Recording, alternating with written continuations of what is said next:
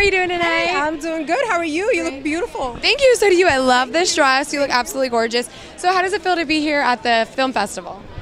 It feels awesome. It's actually like a, it's very surreal because I, I'm from I'm from New York. I live there, so we just came out for this, and um, it's like a time warp. it's like I go back to reality on Saturday, but no, it's great. Love it. What brings you out? Are you supporting someone? Are you in a film? I'm in Last I Heard, uh, starring Paul Sorvino and Michael Rapaport. Awesome. What was it like to film with them? Um, a dream, really, to be able to play with a legend, Paul Sorvino, um, to be opposite him in scenes, um, just incredible.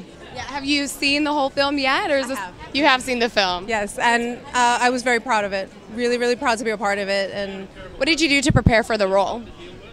Um, not too much, really, to be honest. I mean, I just uh, knew what the circumstances were, and I needed to work opposite my other actors, what we gave each other. And it was just developing a rapport with Renee Props, who plays Rita Scoleri, Paul's daughter, uh, developing that rapport with her, and just connecting with the other actors. That's awesome. So you're from New York. How does it feel to be over here in LA? Do you come to LA a lot? No, I don't come that often. I've been here for other premieres, um, but I, I'm a New York born and bred, and I don't hear the accent at all. No.